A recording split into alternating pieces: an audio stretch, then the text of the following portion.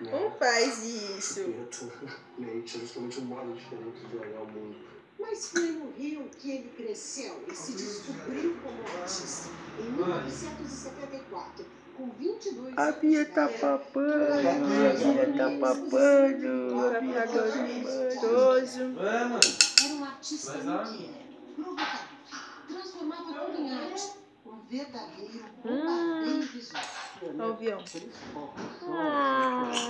Hum. Olha o avião. Dá, só A especialidade do poeta, a especialidade do artista é ser exatamente aquele sujeito que está disposição de todos os acontecimentos. Fez esculturas, desenhos, performances e escreveu livros.